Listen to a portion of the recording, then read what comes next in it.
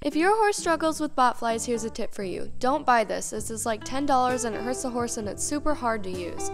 Use this instead. It's way cheaper, doesn't hurt the horse, and it also makes the job go much faster. It's also very satisfying. So definitely try this out if your horse has botflies. Use this, not this.